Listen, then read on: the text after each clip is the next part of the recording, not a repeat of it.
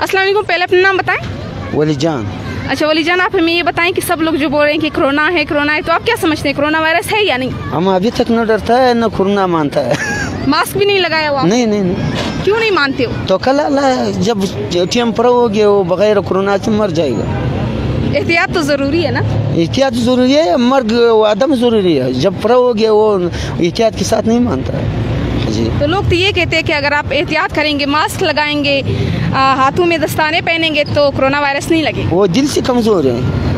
वो अच्छा। डरता है? हाँ। डरते आप ये कहते हैं कि जो अगर मैंने अब ग्लव्स डाले हुए थे तो मैं डरती हूँ? हाँ, हम तो नहीं डरता है कोरोना से। जब लोग डरता है डरता है वो पहनिए। हम बोलते हैं जब आएगा वो वो मास्क नहीं मना होता। है मक्खी पहला साल में बीमारी होता है बुखार बुखार इसी साल में इंशाल्लाह बुखार भी मोला का आएगा जुकाम भी नहीं आया नहीं आया जुकाम। बुखार नहीं आया पहले जुकाम होता था इस दफ़ा पहला जुकाम नहीं हुआ पहला रोजा में दो तीन दफ़ा हमारा बुखार हो गया इसी रोज़े में बिल्कुल आया नहीं हाँ हाँ जी अच्छा हाँ यानी आप यही कह रहे कि जिस दिन मौत आएगी उस दिन फिर मास्क वगैरह नहीं बचा सकते मुँह तो बंद करेगा ये जगह खाई सका